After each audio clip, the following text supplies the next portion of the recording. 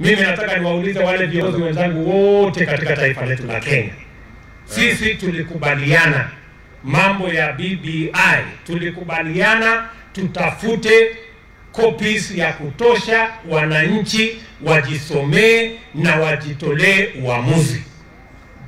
Ni lini ilibadilika kwamba ile tulisema wananchi wajisomee na ujiamulie ilibadilika siku gani? Sasa tunaambiwa kuna viongozi wa vyama ndio wanataka kusomea wananchi, ndio waamulie wananchi. Ilibadilika siku gani? Nyinyi watu wa Vihiga, mnataka kusomewa ama mnataka kujisomea? Mnataka muamuliwe ama mnataka kujiamulia? Sasa hii ngoma mpya imeanzwa, this political mobilization. Swali la pili, mi nataka niulize, nani amepinga BBI? Iko mtu amepinga BBI?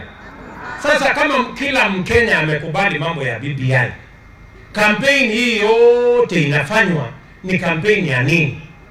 Ama ni kampeni ya kutafuta vile ya kufuja pesa ya serikali? The, what is the campaign about?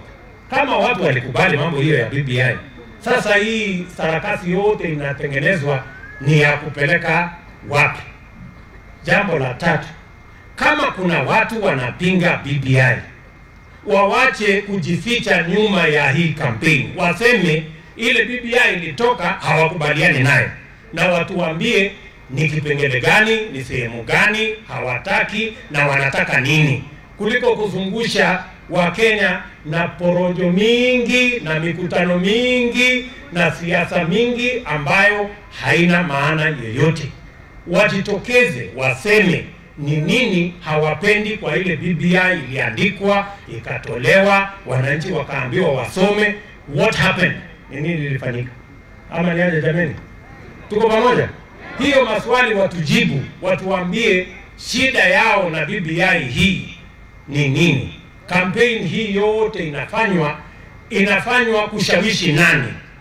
Si watu wote walikubali hii mambo ya BBI? So campaign ni kushawishi nani? What they want to persuade who?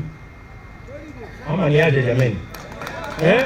Ama ni njia tu ya kutumia pesa ya wananchi kwenda kufanya mkutano huko, kwenda kufanya mikutano huko. Pesa ya wananchi ni pesa ya maendeleo.